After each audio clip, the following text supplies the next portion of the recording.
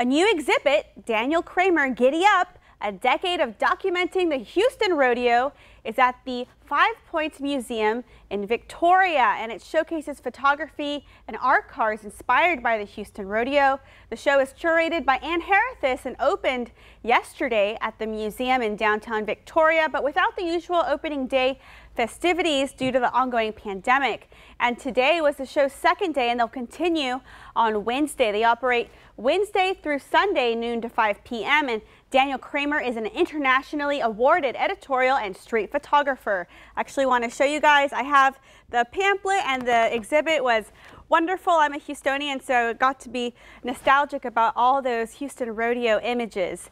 And there's so much of the carnival there too. Brian, have you ever been to the Houston Rodeo? I've been to the San Antonio Rodeo like numerous times, especially when I was a kid.